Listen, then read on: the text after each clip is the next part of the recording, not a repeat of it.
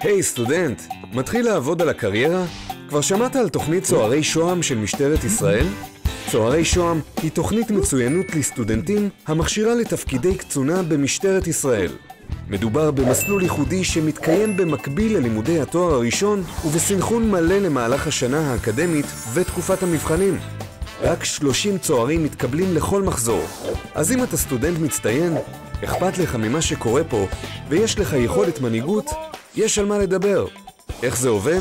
אתה נותן שני ימי עבודה בשבוע בתחנת המשטרה, ומשטרת ישראל נותנת לך משכורת שוטר בהיקף של משרה מלאה, מלגת לימודים שנתית, עזרה חודשית בשכר הדירה ועוד שלל הטבות.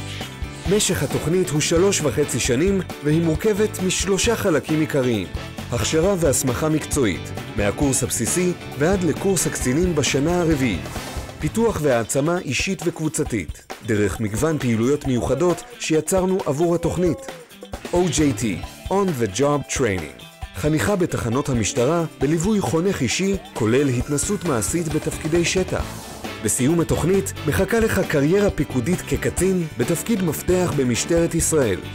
אתה איתי? בוא והצטרף לתוכנית צוערי שוהם.